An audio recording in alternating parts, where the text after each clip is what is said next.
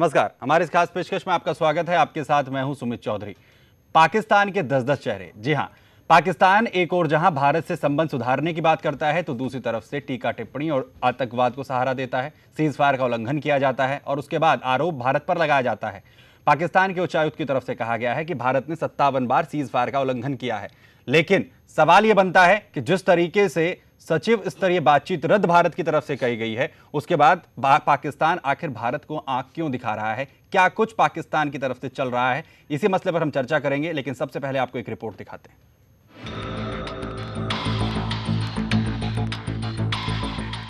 पाकिस्तान हर बार झूठ बोलता है। इस समय पाकिस्तान में घरेलू हालात बेहद खराब चल रहे हैं। इमरान खान ने नवाज़ शरीफ के खिलाफ जोरदार आंदोलन छेड़ रखा है।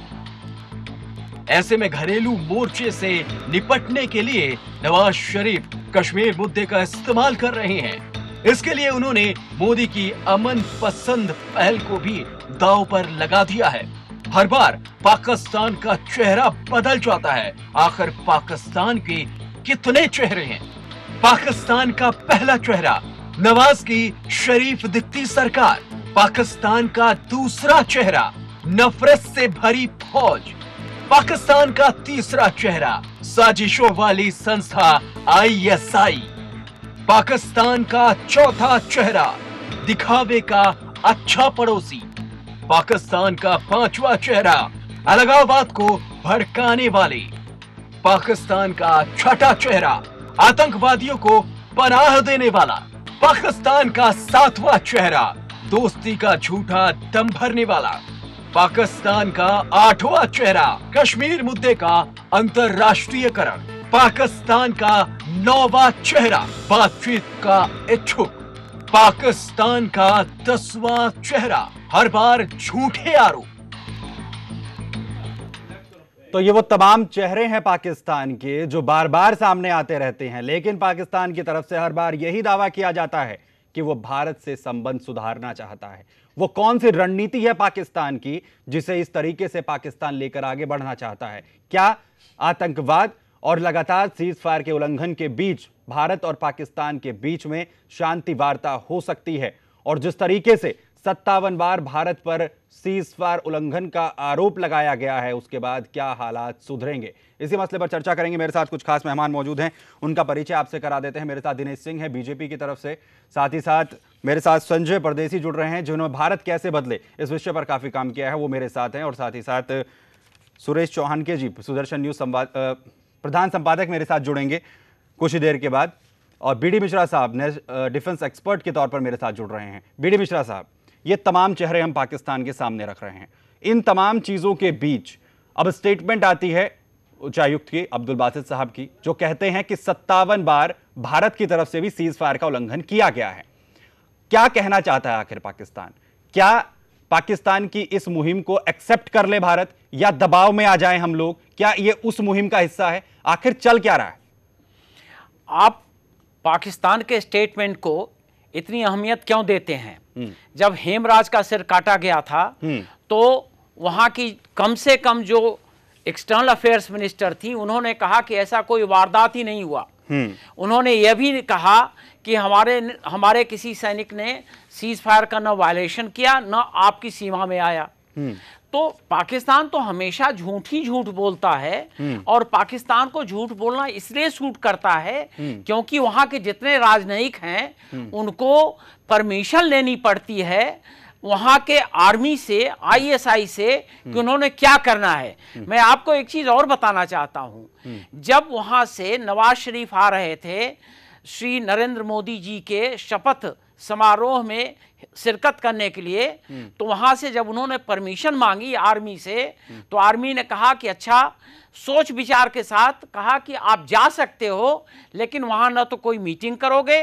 न कोई स्टेटमेंट दोगे और न तो कोई बातचीत करोगे किसी भी मामले पर खैर, नवाज़ शरीफ आए, उन्होंने थोड़ी पहल ये की कि उन्होंने एक मीटिंग कर ली और बातचीत हुई वहाँ पर जाने पर पाकिस्तान की आर्मी ने यह समझा कि यह तो हमारा अस्तित्व ही ख़त्म कर देंगे तो पाकिस्तान की आर्मी ने वहाँ पर यह इमरान खान को और बाकी लोगों को उन्होंने खड़ा किया और उनको कहा कि जो दो साल पुराना मुद्दा है कि वहाँ के इलेक्शन को बीते हुए कितने दिन हुए, कहा कि इसमें रिगिंग हुई थी और कादरी को कहा कि तुम भी इमरान के साथ शामिल हो जाओ और इस मामले को उठाओ। तो आप इससे समझ सकते हैं कि वहाँ की जो इलेक्टेड गवर्नमेंट है, उसका कोई वजूद नहीं है और वहाँ पर जो शॉट्स कॉल किए जाते हैं और वो सब आर्मी की वजह से आपको मैं बता दूँ कि वहाँ पर कोई भी, वहाँ पर कोई भी कोई भी वहाँ पर मामला उठे पाकिस्तान में, चाहे वो हिंदुस्तान का हो, चाहे अफ़गानिस्तान का हो, चाहे अमेरिका का हो, वहाँ पर पहले वहाँ की हुकूमत को वहाँ के आर्मी से परमिशन लेनी पड़ती है कि मैं क्या करूँ। जब वो बताते हैं तो उसी मुताबिक काम होता है। तो ये सब बातों पर आप उनके स्टेटमेंट पर क्यों विश्वास करते हैं? ठीक है। अगर हम ये करते रहेंगे तो जैसे 67 ईयर से हम लोग तमाम प्रॉब्लम को झेल रहे हैं वैसे हमेशा झेलते जाएँगे। इसमें सिल्वर लाइनिंग ये है कि नरेंद्र मोदी जी ने उनकी बात पर विश्वास नहीं किया। ठीक। दिनेश सिंह जी, अब जो एक लाइन खींचने की कोशिश की जा रही है, जो आज तक भारतीय सरकारों ने नहीं किया है, क्या वो अब होगा? क्या वाजपेयी सरकार में भी जो लाइन नहीं खींची जा सकी, नरेंद्र मोदी उसे खींचने वाले हैं?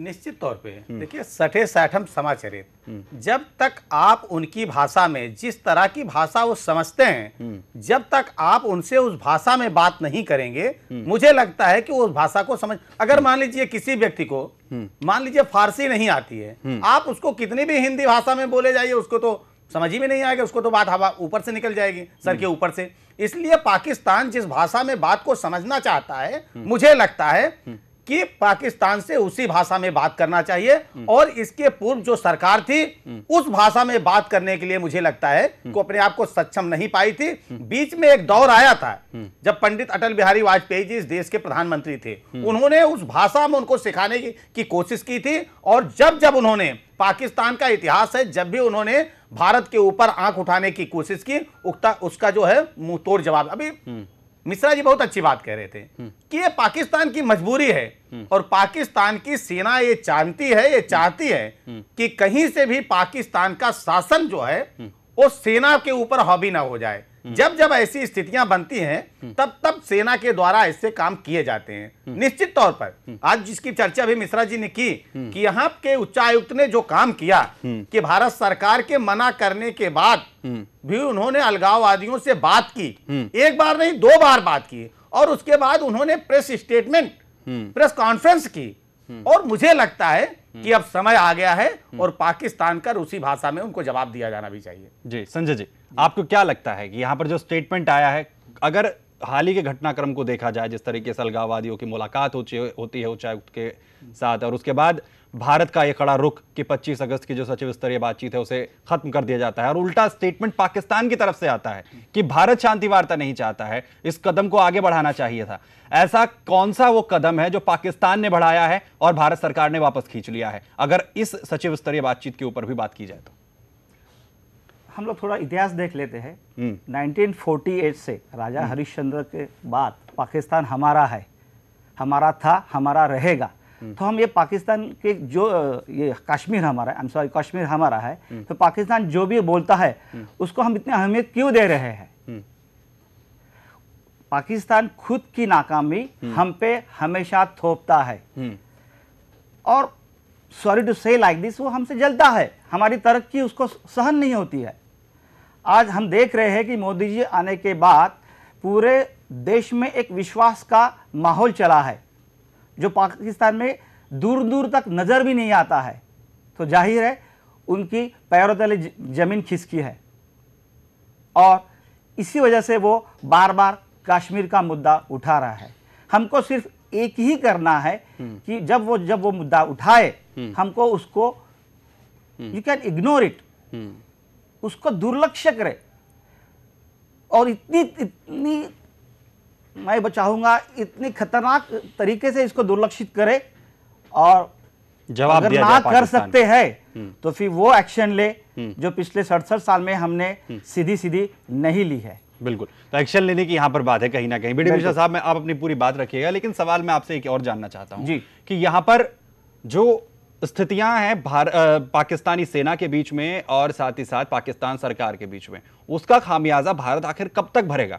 और साथ ही साथ सवाल यह भी है कि जब हम जानते हैं कि भारत पाकिस्तान सरकार के और पाकिस्तान सेना के बीच में किस तरीके के ताल्लुकात हैं या किस तरीके की स्थितियाँ हैं तो ज़ाहिर है दिमाग में क्लियर हो जाना चाहिए भारत सरकार के कि हालात ये बेहतर नहीं हो सकते। तो ये सरकारों ने इतना वक्त क्यों लगा दिया है?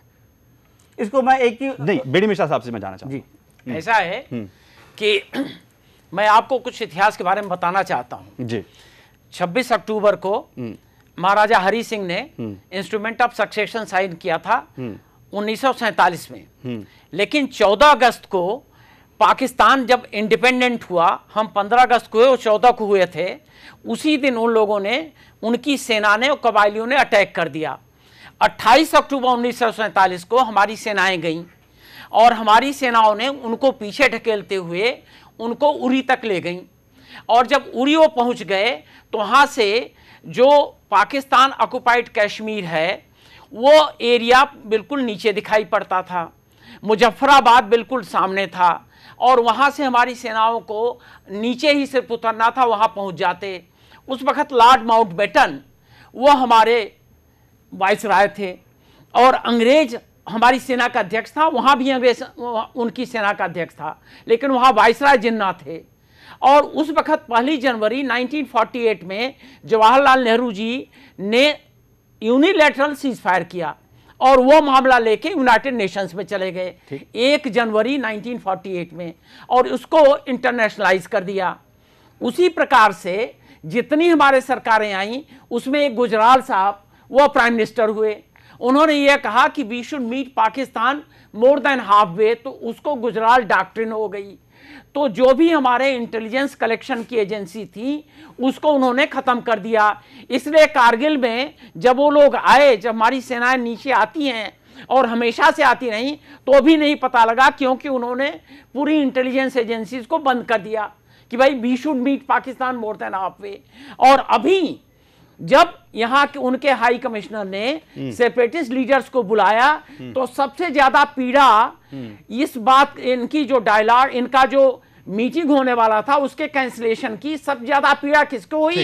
इन्हीं हुरियत लीडर्स को। इन्हीं को। यही कह रहे थे कि भाई ये तो बड़ी नादानी है और इसको क्यों कर रहे हो? बातचीत करते रहो।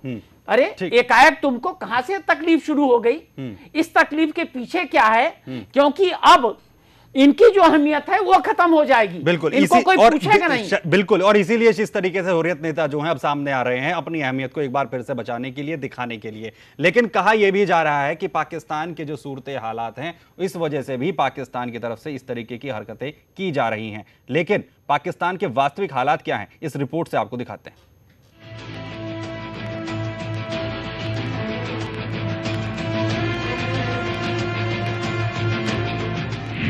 ऐतिहासिक संकट के मुहाने पर पाकिस्तान। इमरान के अल्टीमेटम पर नवाज़ की चुप्पी क्यों? अब इमरान खान और कादरी क्या करेंगे? पाकिस्तान में सियासी बवाल अपने चरम पर है। पाकिस्तान के प्रधानमंत्री नवाज़ शरीफ को हटाने की मांग कर रहे पाकिस्तान तहरीक इंसाफ पार्टी के मुखिया इमरान खान और धार्मिक नेता तहिरुल कादरी अपने हज़ारों समर्थकों के साथ भारी सुरक्षा बंदोबस्त वाले रेड जोन में घुस गए हैं। वहीं ये सभी अब संसद भवन की तरफ़ मार्च कर रहे हैं। इसी सबके सरकार प्रदर्शनकारियों और सुरक्षा बलों के बीच झड़पें भी हुई। रेड जोन ये पाकिस्तान में एक प्रमुख जगह है। आपको बता दें, इसी रेड जोन में पाकिस्तान की संसद, प्रधानमंत्री और राष्ट्रपति का आवास है। तो इसके अलावा सुप्रीम कोर्ट और अन्य देशों के दूतावास भी यही हैं। तो वहीं इमरान खान ने पाकिस्तान के प्रधानमंत्री नवाज़ शरीफ से इस्तीफा देने को कहा। तो उन्होंने कहा कि अगर नवाज़ शरीफ इस्तीफा नहीं देते हैं तो हम प्रधानमंत्री आवास में प्रवेश कर जाएँगे। उधर खान ने रेड जोन की तरफ़ मार्च शुरू करने से पहले अपने समर्थकों को संबोधित करते हुए कहा, मुझसे वादा कीजिए, अगर मेरे साथ कुछ गलत होता है तो आप नवाज़ शरीफ से बदला लेंगे। वही रेड जोन में घुसने से पहले इमरान ने यह भी कहा कि मैं आ रहा हूँ आपको जवाबदेह बनाने के लिए। ऐसे में सुरक्षा के मद्देनजर प्रधानमंत्री नवाज़ शरीफ के घर के पार सेना की तैनाती कर दी गई है। रेड जोन की सुरक्षा के लिए भारी संख्या में सुरक्षा बलों की तैनाती से बेपरवाह पाकिस्तान तहरीक इंसाफ और पाकिस्तान आवामी तहरीक समर्थक संसद भवन के पास पहुँच गया। वहीं प्रदर्शनकारियों पर पुलिस ने लाठीचार्ज किया। तो उधर रेड जोन में प्रदर्शनकारी के प्रवेश करने पर पुलिस के साथ झड़प भी देखने को मिली। शुरुआत में मामूली प्रतिरोध के बाद पुलिस ने सख्ती नहीं बरती और हिंसा टालने की नीति पर ढुलमुल रवैया अपनाया। सरकार ने सुरक्षा बलों को हटाने का फैसला लिया तो वहीं उच्च सुरक्षा वाले रेड जोन में प्रदर्शनकारी कॉन्स्टिट्यूशन एवेन्यू तक पहुँच गए। यह विरोध प्रदर्शन कोई खतरनाक शक्ल न ले इसके लिए सरकार की तरफ़ से सख्त आदेश है कि प्रदर्शनकारियों के साथ किसी तरह की कोई सख्ती न की जाए।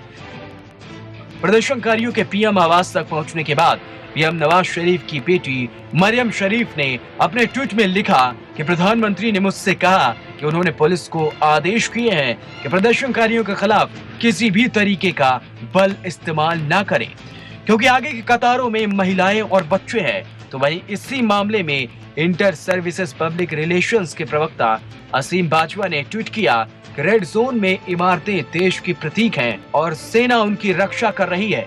इसलिए इन राष्ट्रीय प्रतीकों की पवित्रता का सम्मान किया जाना चाहिए।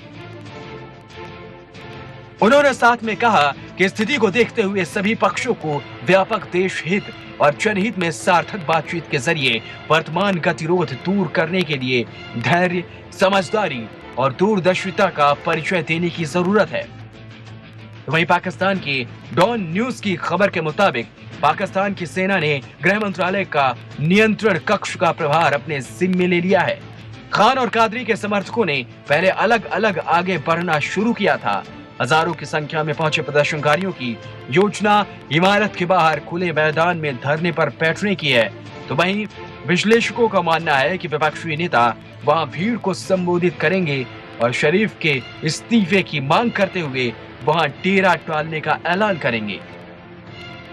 सूचना एवं प्रसारण मंत्री परवेज राशिद ने जियो टीवी को बताया कि प्रदर्शनकारियों ने उस लिखित प्रतिबद्धता का उल्लंघन किया है, जिसमें उन्होंने कहा था कि वह रेड जोन में प्रवेश नहीं करेंगे।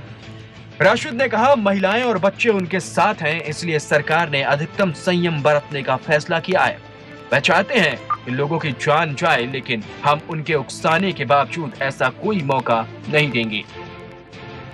तो उधर राजधानी के पॉली क्लिनिकल हॉस्पिटल और Pakistan institute of medical sciences PIMS में अलर्ट जारी कर दिया गया है। दोनों ही प्रमुख सरकारी अस्पताल हैं। दोनों संस्थानों में अतिरिक्त दवाओं, आपात ऑपरेशनों और अतिरिक्त बिस्तरों की व्यवस्था भी की गई है।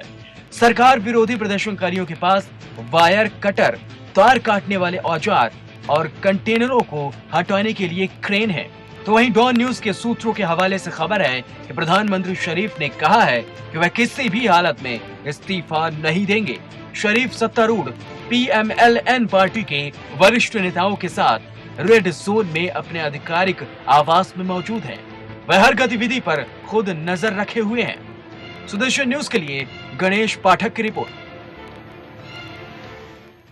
दिनेश जिस तरीके से सूरत हाल पाकिस्तान के अंदर है, अगर उन हालातों पर नज़र डाली जाए, या इससे पहले जिस तरीके से बी डी मिश्रा साहब ने भी कहा, आपने भी उनकी बात के लिए हामी भरी, जिसमें कहा गया कि पाकिस्तान की जो सरकार है और पाकिस्तानी सेना है, उनके बीच में जो हालात हैं, वो सही नहीं है।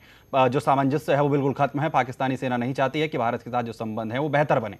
तो इन सब के बीच भारत का अगला कदम क्या होगा? क्या अब यही वक्त आ गया है कि अब पाकिस्तान को मुँह तोड़ जवाब मिलना चाहिए, और वही हालात हैं जो कारगिल युद्ध के बीच में हुए थे। नहीं देखिए सुमित जी देखिए कि कोई भी किसी चीज़ का सोल्यूशन सिर्फ़ युद्ध नहीं है। युद्ध जो है अंतिम विकल्प है। और आज के परिपेक्ष में आप किसी बात के लिए मुझे लगता है कि अभी वो समय नहीं है। लेकिन एक चीज़ ज़रूर है कि आज जिस तरह के स्थिति आज पाकिस्तान की बनी है हमेशा से वहाँ की सेना ये चाहती है कि जो भी सरकार हो वो सेना के दबाव में काम करे।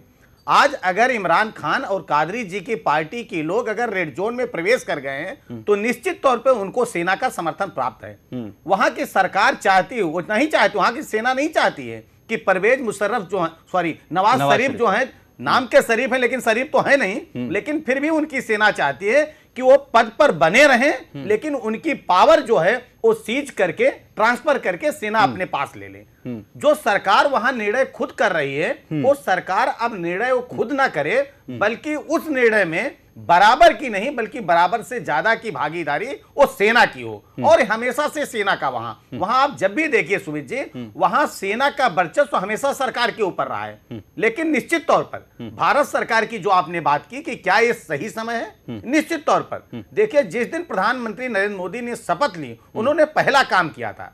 उन्होंने सार्क देशों को बुलाया उसमें पाकिस्तान को भी बुलाया गया था। और पाकिस्तान के प्रधानमंत्री उसमें आए। जिस तरह से शांतिपूर्वक माहौल में हम चाहते थे कि हमारे पड़ोसी के साथ हमारा संबंध अच्छा बने। और जितनी कोशिश अपने तरफ़ से हो रही थी की जा रही थी हमने वो कोशिश की। लेकिन उसके बावजूद भी एक सरकार के मना करने के बाद जिसकी चर्चा भी हमारे दोनों मेहमान कर रहे थे साथ साथ कि हम पहले के हमारी इसीलिए सवाल इसीलिए बार बार सवाल पूछा जा रहा है कि कोशिशें जो है भारत सरकार की तरफ़ से की गई। प्रधानमंत्री नरेंद्र मोदी ने उन्हें शपथ ग्रहण समारोह में बुलाया। शार्क देशों के साथ किस तरीके से संबंध सुधारने की बात की जा रही है? विदेशी जो रणनीति है वो अपनाई जा रही है लेकिन उसके बावजूद भी कोई पॉजिटिव रिस्पॉन्स नहीं है। तो अब हालात क्या हैं? अब क्या किया जाएगा भारत सरकार की तरफ़ से? इसीलिए बार बार पूछा जा रहा है कि क्या नरेंद्र मोदी जिस चीज़ का वो ज़िक्र करते रहे हैं लोकसभा चुनाव के वक्त भी कि पाकिस्तान को कड़ा जवाब दिया जाएगा मुंहतोड़ जवाब दिया जाएगा क्या वो वक्त है? निश्चित तौर पर और उसका जवाब दिया भी जा रहा है अगर आप देखिए तो ये जो पिछली दस सालों की सरकार है जो पिछली सरकारों का जो खामियाजा है जिस तरह से उन्होंने अलगाववादियों को संरक्षण दिया था जिस तरह से बुलाते थे यहाँ उनका स्वागत करते थे उसी का उत्साह है उसी उत्साह के नाते वो आए हैं। और मैं ये कहना चाहता हूँ एक बार यहाँ ज्वाइंट पार्लियामेंट ने कह दिया है पहले भी बार बार कह रहे हैं कि जम्मू कश्मीर जो है भारत का अभिन्न अंग है। उस पर हम किसी तीसरे तो की रहे नहीं कर सकते। दरअसल तो यही है पाकिस्तान को कि- सुमित जी हाँ। एक बार उन्होंने कहने पे अगर आप देखिए हाँ। आपको मना किया गया कि आप बात मत कीजिए लेकिन उसको बाद भी आपने बात किया। एक बार नहीं आपने दो बार बात किया।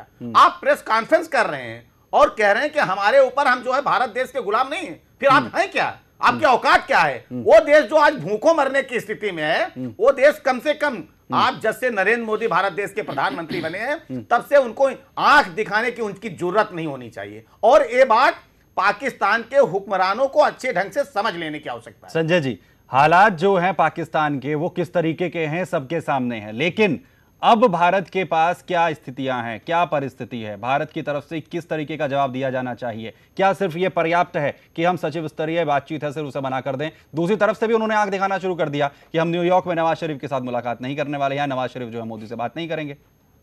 इससे उनको कोई क्वेश्चन मार्क लगा दिया उन्होंने। इससे उनको कोई फ़र्क नहीं पड़ेगा। माननीय वाजपेयी जी ने भी बहुत बहुत पहल की थी। बस लेकर गए थे। पिछले सड़सठ साल से यही चलता आ रहा है। अगर अगर हमने एक्शन नहीं ली एक्शन किस तरह से ली जाए वो वो बात की विषय है तो ये ऐसा ही चलता रहेगा। मेरी ये राय है कि एक आक्रमण सौ बचाव किनारे करता है और एक अपना अपनी एक धुस जमाता है।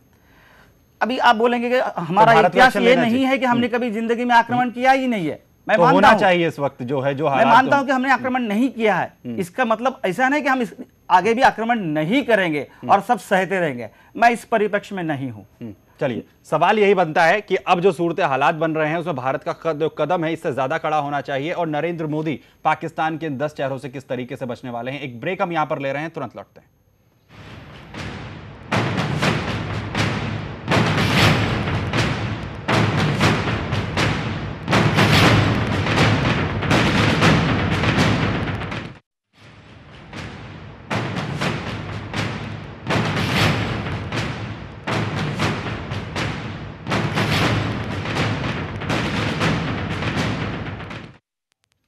तो पाकिस्तान के 10-10 चेहरे सामने आ रहे हैं। लगातार पाकिस्तान की तरफ़ से सीज फायर का उल्लंघन किया जा रहा है, लेकिन आग भी भारत को दिखाई जा रही है, जिसमें कहा गया है कि भारत नहीं चाहता है कि पाकिस्तान के साथ संबंध सुधरे। आखिर चाहता क्या है पाकिस्तान? इसी मसले पर हम चर्चा कर रहे हैं।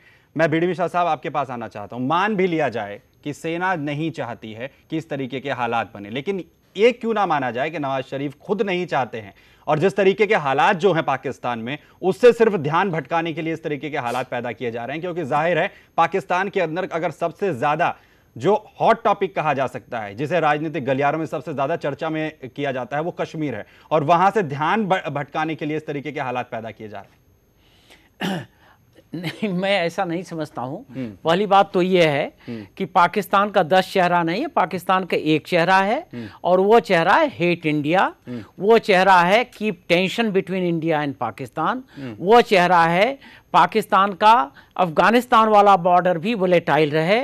इस वजह से ये है क्योंकि पाकिस्तान की आर्मी की अहमियत उनकी रोजी रोटी उनका अस्तित्व और उनका एग्जिस्टेंस इसी बात पर मुनसर करता है कि वो अपने नेता को यह कह सकें पोलिटिकल लीडर्स को कि अगर मैं नहीं हूँगा तो पाकिस्तान इंडिया तुमको खा जाएगा। पहली बात। दूसरी बात यह है कि अगर ये नवाज़ शरीफ नहीं चाहते हैं कि भारत और पाकिस्तान का रिश्ता सुधरे तो इसके माने यह है कि वो अपनी अपने अस्तित्व को कम करते हैं। क्योंकि अगर नहीं सुधरेगा भारत पाकिस्तान का रिश्ता तो आर्मी हॉबी रहेगी और पॉलिटिशियन का कुछ भी नहीं चलेगा। दो बात। तीसरी बात ये जितना कुछ हो रहा है पाकिस्तान के आर्मी का ड्रामा है। आप तीन बातों पर गौर करिए। पहली बात तो यह गौर करिए कि नवाज़ शरीफ के लड़की का ट्वीट, वो कहती हैं कि हमारे अब्बू जान ने कहा है कि कोई भी खून खराबा नहीं होना चाहिए। दूसरा, पाकिस्तान की आर्मी ने नवाज़ शरीफ के बंगले के चारों तरफ़ आर्मी खड़ी कर दी है। तीसरा, पाकिस्तान की आर्मी यह कह रही है कि रेड जोन का हम कभी भी वायलेशन नहीं चाहेंगे। तो ये जो तीनों बातें हैं, इससे साफ़ नज़र आता है कि ये पूरा ड्रामा पाकिस्तान आर्मी का है नवाज़ शरीफ को बताना चाहते हैं हाँ। कि अगर हाँ। तुम मेरी बात नहीं सुनोगे तो तुम कैसे इमरान खान को और कादरी को कंट्रोल करोगे इसको तो मैं ही कंट्रोल कर जी, सकता। हूँ इसलिए हम्म। उनको अपनी जगह बता दिया है हाँ। थोड़े दिन बाद हाँ। ये बीच में बातचीत हो जाएगी ये लोग वापस जाएँगे हम्म। पाकिस्तान की आर्मी इनको वापस करेगी नवाज़ शरीफ से पाकिस्तान की आर्मी कहेगी कि जो मैं कहता हूँ चुपके से करते रहो हम्म। ठीक तो। कुर्सी पर बैठे रहो ठीक है इसी बीच सुदर्शन न्यूज़ के प्रधान संपादक श्री सुरेश चौहान के भी हमारे साथ इस चर्चा में जुड़ रहे हैं सुरेश जी आप ही के पास आना चाहता हूँ मेरे साथ जो मेहमान यहाँ पर मौजूद है उनका भी ये कहना है कि पाकिस्तान के अंदर जो सरकार है और सेना है उनके बीच में समन्वय नहीं है और पाकिस्तानी सेना ही बिल्कुल नहीं चाहती है कि भारत के बीच में संबंध सुधरे आपको क्या लगता है कि क्या यही रणनीति है पाकिस्तान के अंदर? ये मैंने कल भी कहा था। जी। पाकिस्तान के दस चेहरे या पाकिस्तान के अंदर दो सत्ता केंद्र है इससे हमको क्या मतलब है? जी। हमारे लिए पाकिस्तान एक निशाना है और पाकिस्तान के लिए भारत एक निशाना है। हम्म। इसलिए वहाँ अंदर दो केंद्र है चार केंद्र है पाकिस्तान के अंदर और क्या है हम्म। हमें इससे कोई मतलब नहीं। हमारे देश के साथ उसने क्या हरकत की फिर वो सीमा पर करने वाला सैनिक हो तो भी हमारे लिए हरकत पाकिस्तान की है। और भारत के यहाँ उच्चायुक्त में उच्चायुक्त आकर यहाँ अगर ऐसी हरकत करता है तो भी पाकिस्तान ने की है। करने वाला कौन है? तो पाकिस्तान है। हम वो दो कूट बनाकर उनसे बात करने की हमें कोई आवश्यकता नहीं। लेकिन यहाँ पर धमकी अब ये दी जा रही है कि पाकिस्तान न्यूयॉर्क में जो मुलाकात होने वाली थी भारत के प्रधानमंत्री नरेंद्र मोदी और नवाज़ शरीफ की वो नहीं की जाएगी। आँख एक बार फिर से भारत को दिखाई जा रही है। सत्तावन बार आरोप लगाया गया है कि भारत ने ही सीज फायर का उल्लंघन कर दिया।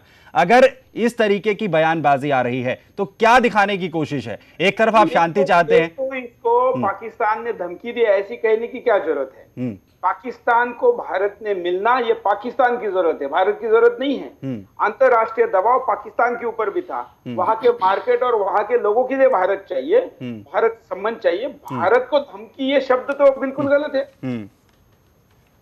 बिल्कुल।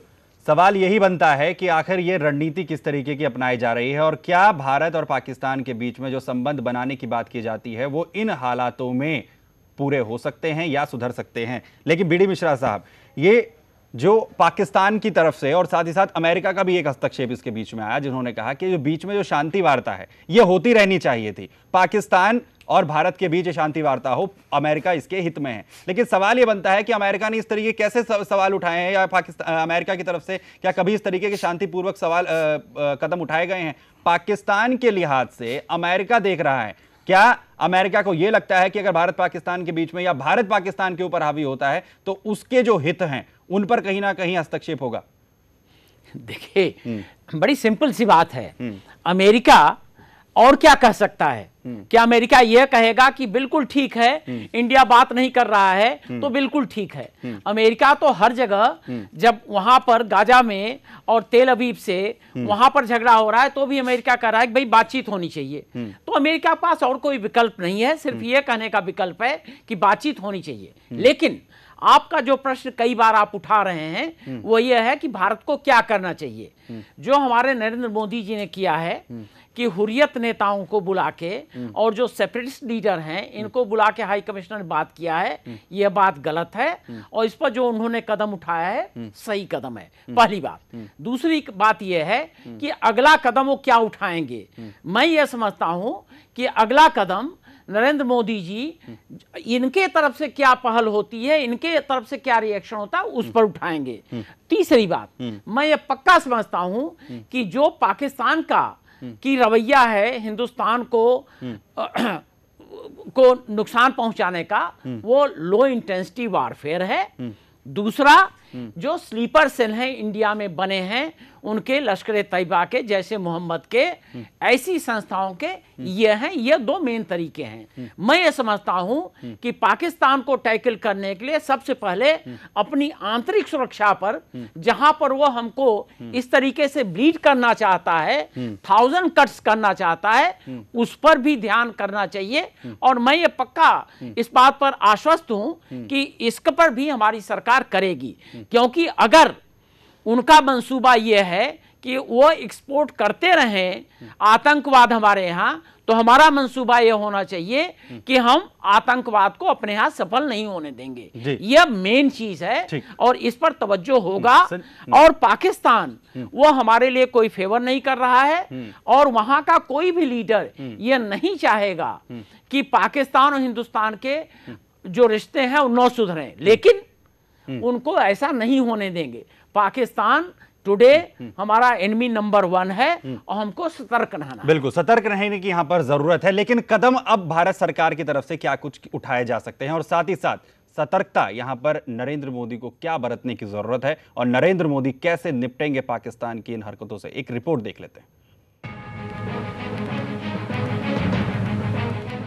पाकिस्तान सरकार पर संकट के बादल, संकट से बचने के लिए नवाज़ शरीफ ने क्या किया? नवाज़ शरीफ की हरकत पर मोदी सरकार अब क्या करेगी? मोदी का पाकिस्तान प्लान क्या है? पाकिस्तान में विपक्षी पार्टियों का प्रधानमंत्री नवाज़ शरीफ के खिलाफ प्रदर्शन करना और उन पर भ्रष्ट होने के आरोप लगाना, उनसे इस्तीफा मांगने के लिए पाकिस्तान में एक चुनावी माहौल बनाना, ये सब बड़े सवाल बन गए हैं। तहरीक इंसाफ नेता इमरान खान और पाकिस्तान आवामी तहरीक नेता मौलाना ताहिर उल कादरी अपने लगभग तीस हज़ार समर्थकों के साथ रेड जोन यानी वो इलाका जहाँ पाकिस्तान का सुप्रीम कोर्ट संसद भवन, प्रधानमंत्री और राष्ट्रपति के ऑफ़िस हैं, से ना जाने पर अड़े हैं। इन सारी घटनाओं से लगने लगा है कि 15 महीने पुरानी नवाज़ शरीफ सरकार के सामने ये संकट अब तक का सबसे बड़ा संकट है। अपने ऊपर आए इन संकट के बादलों से बचने के लिए पाकिस्तानी प्रधानमंत्री ने कश्मीर मुद्दे की आड़ दी है। कश्मीर के मुद्दे को सुलझाने के लिए पाक उच्चायुक्त को कश्मीरी अलगाववादियों से मिलने का प्लान बनाया, जो उनके लिए अपने ऊपर बन रहे संकट से बचाने के लिए अहम समझा जा रहा है। लेकिन पाकिस्तान के उठाए गए इस कदम ने भारत सरकार को हैरान कर दिया है। भारत मानता है कि पाकिस्तान के उच्चायुक्त का कश्मीरी नेताओं से मुलाकात करने का मतलब भारत के अंदरूनी मामलों में दखल है। इसी कारण विदेश मंत्रालय ने 25 अगस्त को होने वाली उच्चायुक्तों की बैठक को रद्द करने का फैसला लिया। भारत का ये कदम पाकिस्तान सरकार के लिए एक बड़ा झटके से कम नहीं है। मोदी सरकार अपने पड़ोसी देश पाकिस्तान के साथ रिश्तों को सुधारने के लिए गंभीर है। इस कारण प्रधानमंत्री ने अपनी शपथ ग्रहण समारोह में नवाज़ शरीफ को बुलाया। साथ ही साथ दोनों देशों के उच्चायुक्तों की बैठक करने का बड़ा फैसला लिया गया था, लेकिन पाक अपनी नापाक हरकतों से बाज नहीं आया और मोदी सरकार के बनने के बाद भी लगातार सीज फायर का उल्लंघन करता रहा। लेकिन पाकिस्तान के उच्चायुक्त अब्दुल बासित ने तो आज प्रेस कॉन्फ्रेंस में ये कहते हुए सबको चौंका दिया कि भारत ने तो जुलाई से अब तक सत्तावन बार सीज फायर का उल्लंघन किया है।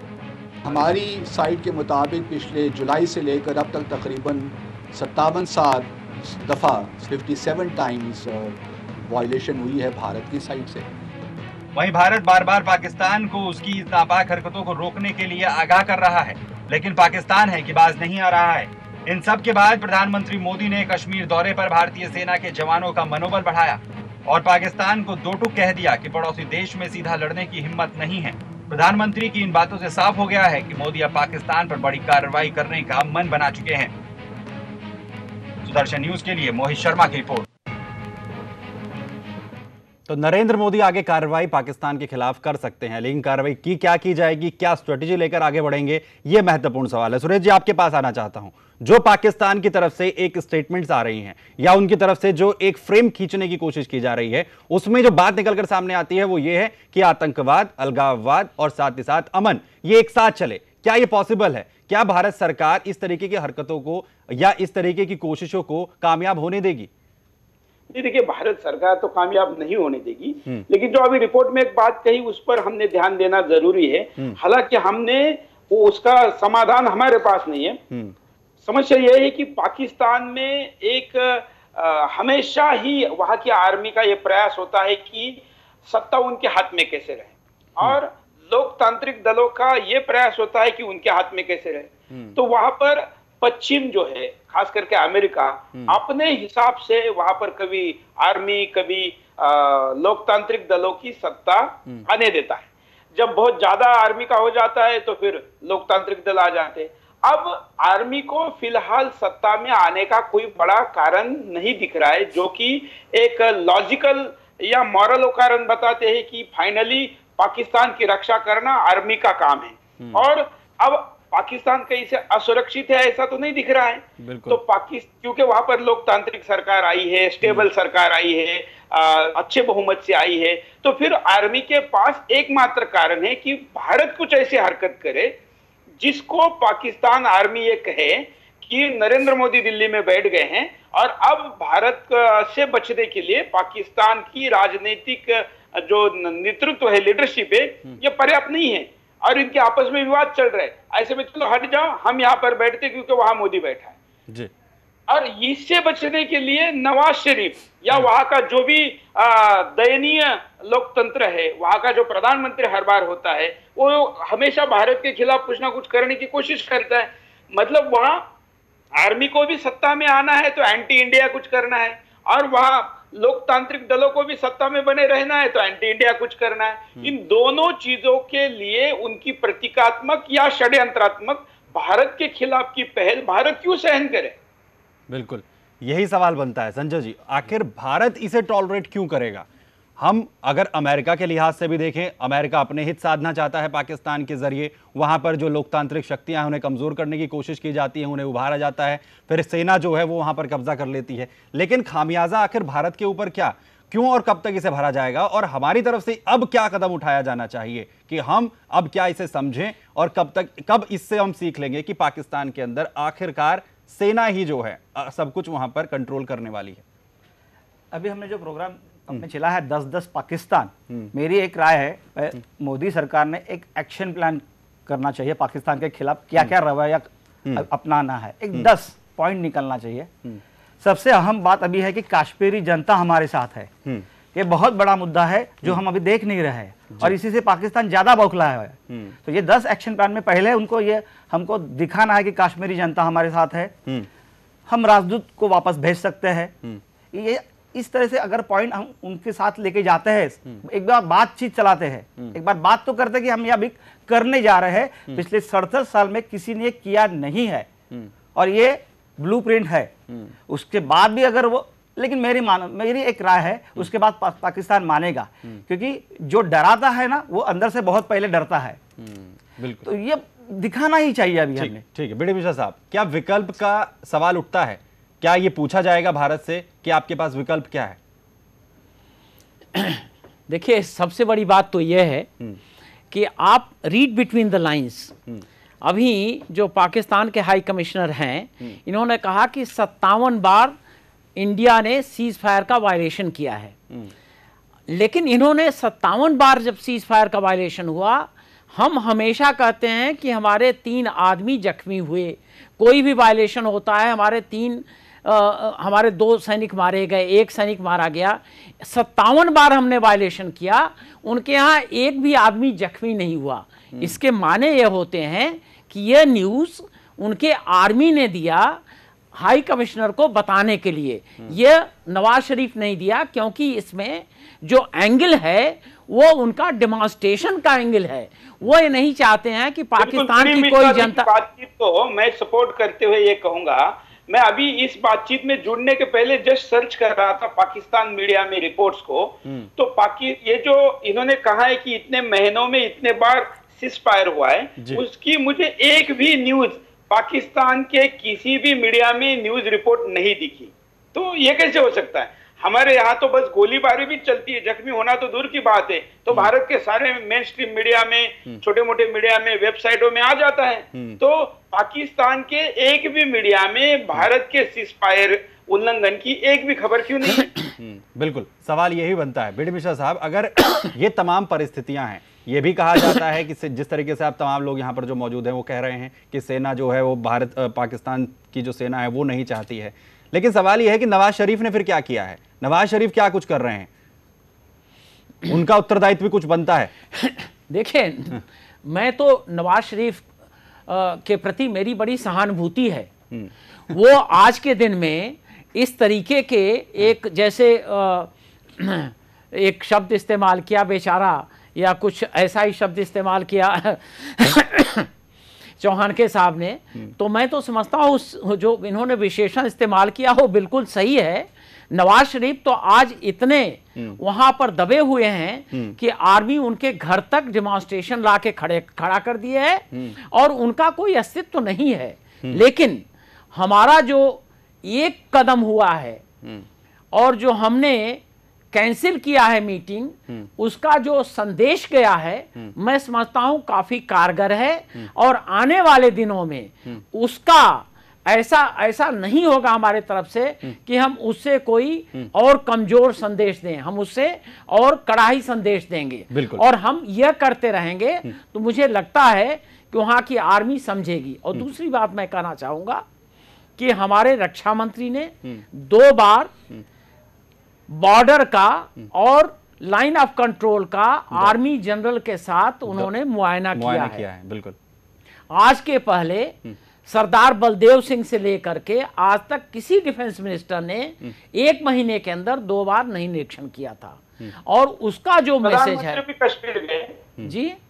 प्रधानमंत्री भी एक बार एक ही महीने में दो बार, दो बार बिल्कुल। नरेंद्र तो मोदी ये जो ये जो स्टेप हैं ये हमारा एक बिल्कुल चेंज ऑफ़ पॉलिसी है जो पहले दस साल में हम देख रहे थे। मैं कहना तो नहीं चाहता था लेकिन मैं बताना चाहूँगा जब वहाँ के गृह मंत्री आए थे और वो जा रहे थे दरगाह शरीफ पर तो उस वक्त जो हमारे विदेश मंत्री थे वो गए थे। दोनों की कल मैं बहुत केयरफुली बॉडी लैंग्वेज चेक कर रहा था।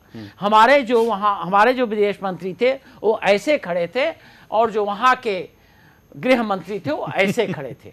मुझे बड़ा ताजुब हुआ कि अरे अपने देश में हम बिल्ली की तरह क्यों खड़े होते खड़े हैं? अगर हम इस तरीके से खड़े होंगे तो जो मैसेज जाएगा हाँ, वो मैसेज बहुत ही गलत ही गलत जाएगा जा रहा लेकिन है, आज का मैसेज करेक्ट गया बिल्कुल। दिनेश जी कुछ कहना चाहते मैं- हैं? मैं सिर्फ़ ये कह रहा हूँ कि भाई जिसकी चर्चा सुरेश जी भी कह रहे थे देखिए जो पाकिस्तान में चल रहा है ना ये सिर्फ़ नौटंकी है कि आज जो है कि फला पार्टी ने प्रधानमंत्री आवास तक पहुँच गई है और सेना ने कहा नहीं मैं आगे नहीं बढ़ने दे। ये सिर्फ़ नौटंकी है और लोगों के ध्यान को भटकाने की सिर्फ़ और सिर्फ़ कोशिश है। और जिस तरह की बात यहाँ पर पाक के राजदूत ने की है ये किसी एक राजनयिक की भाषा नहीं है। ये भाषा भी सेना की भाषा है। उनको जो कहा गया वही वहाँ बोल रहे हैं। और तीसरी चीज़ इस सबको पता है कि वहाँ की सेना ड्राइविंग सीट पर खुद बैठना चाहती है। और वही उसका जो प्रयास है वही आज का प्रयास है इससे ज़्यादा कुछ नहीं है।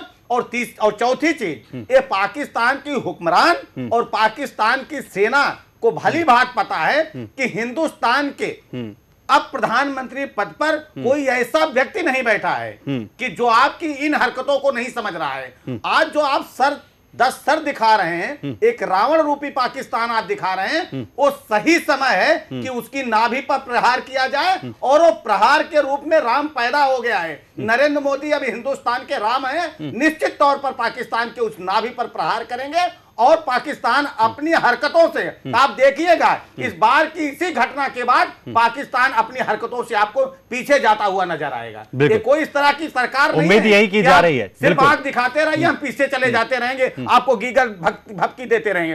अब गीदड़ भपकी देने का समय नहीं है एक्शन लेने का समय है। और सरकार तरह तरह का एक्शन ले रही जो सूरज जी कह रहे थे अगर ये मीटिंग हो जाती सचिव स्तर की तो उसमें भारत का फ़ायदा नहीं था। उसमें हाल बेहाल पाकिस्तान, पाकिस्तान का फ़ायदा था था। ट्रेड का फ़ायदा था जो होने वाला था उसको पाकिस्तान अच्छे ढंग से समझ रहा है। और आज जो कूटनीति है जो राजनीति है मुझे लगता है इस सरकार से बेहतर कोई नहीं समझ रहा है। आप देखिए आने वाले दिनों में निश्चित तौर पर इस रावण का सर्वनाश होगा। बिल्कुल। सूरज जी एक बार पीडी मिश्रा जी से मैं बात करना चाहूँगा। जी। मिश्रा जी आ, हम हमेशा ये देखते हैं कि बांग्लादेश हो या पाकिस्तान हो दोनों में जब लोकतांत्रिक सरकारें मुश्किल में आती है तो भारत सरकार डिफेंस में चली जाती है। वो वो भारत सरकार की तथाकथित पॉलिसी अब तक ये रही है कि वहाँ पर लोकतांत्रिक सरकारें बने रहे इसके लिए हम हमारा भले ही नुकसान होता हो थोड़ा सा चुप बैठे। लेकिन क्या हम कभी इस नीति पर कब चलेंगे कि दुश्मन कमज़ोर है तो उस पर ज़्यादा बड़ा हमला करो उसको खत्म करो? आप जो बात कह रहे हैं, बिल्कुल सही कह रहे हैं, और मैं इसके साथ आपका, आपकी बात में इजाफा करते हुए मैं ये कहना चाहूँगा कि ये हमारी जो एक प्रक्रिया हुई, प्रतिक्रिया हुई है यह डिप्लोमेसी को बरकरार करते हुए, बरकरार रखते हुए, अपनी शालीनता को, भारत की जो नीति रही है, उसको बरकरार रख- रखते हुए, हमारे पड़ोसियों में अच्छा व्यवहार हो इसके करते हुए भी हमने कड़ा जवाब दिया है ये चेंज ऑफ़ चैप्टर है। ये 67 मैं पहले प्रधानमंत्री मैं तो अ, कि मैं इसके आगे बढ़ने की बात कर रहा हूँ। मैं इसके आगे बढ़ने की बात कर रहा हूँ। ज़रूरी नहीं कि वो सारी चीज़ें जनमानस को आँखों से दिखे मीडिया में आए। ज़रूर नहीं। आपको तो पता है आप आर्मी में भी रहे कि इन सब चीज़ों के परे भी कई चीज़ें होती है। उसको उसका भी क्यों नहीं आजमाया जाए? बिल्कुल। बिल्कुल आप बिल्कुल सही कह रहे हैं। उसमें मैं एक चीज़ ये कहना चाहता हूँ कि गुजराल साहब के टाइम पर जितना आपका जितने प्रयास थे जो हमारे प्रयास होने चाहिए सबको निस्त नामूद कर दिया गया था। और ये चीज़ें बीसों साल तीसों साल में बनती हैं। मैं ये समझता हूँ कि शायद अब हम वो विवेक है कि हम अपने देश को डिफेंड करने के लिए अपनी सुरक्षा के लिए हमारे लिए जो भी कदम उठाने पड़ेंगे वो हम उठाएँगे। मेरे ख्याल से ये लाइन पर है। हम्म, बिल्कुल। यही है और कोशिश यही रहेगी जिस तरीके से नरेंद्र मोदी ने यहाँ पर एक्शन लिया है वो और ज़्यादा कठोरता से पाकिस्तान के खिलाफ अपना जो कदम है वो आगे बढ़ाएँगे। लेकिन संजय जी आपको चर्चा में दोबारा फिर से जोड़ना चाहता हूँ। यहाँ कश्मीर का ज़िक्र भी आया है। जिस तरीके से जो पाकिस्तान के उच्च आयुक्त हैं उनकी तरफ़ से कहा गया कि पाकिस्तान या जो पाकिस्तान की तरफ़ से स्टेटमेंट आ रहे हैं कि भारत का अभिन्न हिस्सा नहीं है कश्मीर। तो अब क्या ये वक्त नहीं है कि अब हम भी अपना एटीट्यूड कश्मीर की तरफ़ से चेंज करें? कश्मीर के अंदर जिस तरीके से हमने अलग संविधान को धारा 370 को लेकर बहस होती रही है अब वो तमाम हालात बदलने चाहिए। जिस तरीके से नरेंद्र मोदी लगातार कहते रहे हैं कि कश्मीर को लेकर जो हमने स्थितियाँ बनाई हैं अब उन्हें बदला जाए। भारत की जिस तरीके से पूरा जोड़कर पूरा देश एक साथ है उन्हीं चीज़ों को इंप्लीमेंट कश्मीर पर भी किया जाए। अब हमें अपना नज़रिया चेंज नहीं करना चाहिए क्या? मैं वापस वही दोहराता हूँ कि जब तक हम डरेंगे हम विनम्र है लेकिन लोगों ने उसको डरपोक समझा है। सिंह साहब अभी बता रहे थे मैं उसको आगे खींचूँगा। 16 मई को अगर आपने पाकिस्तान न्यूज़ चैनल देखा होगा तो सभी चैनल पे मोदी साहब को तू तड़ाक से बात की जा रही थी। अरे मोदी आ रहा है मोदी जाएगा ऐसा कैसा हो रहा है? ये वो डेयरिंग कैसी क्यों करते हैं? कैसे करते हैं? ये तब तक करते रहेंगे तब तक जब से हमारे ओर से पहली पहल ना हो। मैं वापस दोहराऊं तो एक बार पहल करके तो देखे पाकिस्तान क्या पूरे दुनिया में एक सशक्त मैसेज जाएगा कि यही भारत है जो पहल भी कर सकता है। दुनिया यही समझती कि हम पहल कर ही नहीं सकते। हम विनम्र है हम विनम्र नहीं है।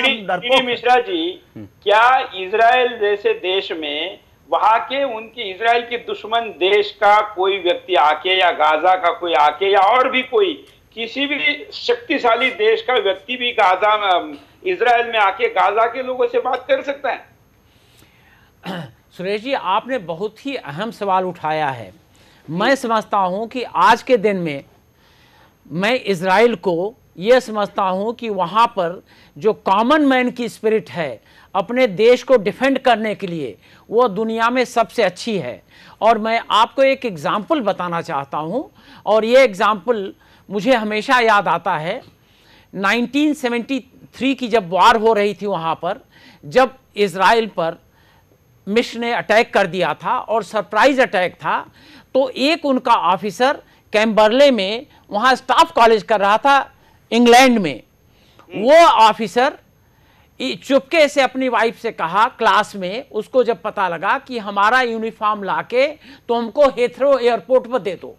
और वहाँ पर एक चार्टर्ड एयरक्राफ्ट था, जिसमें जितने यहूदी हैं इंग्लैंड में, वो तेल अवीब जा रहे थे जब लड़ाई शुरू है आप सोचिए कि जब लड़ाई शुरू होती है तो वहाँ से बाहर की यहूदी जा रहे हैं, सिविलियन।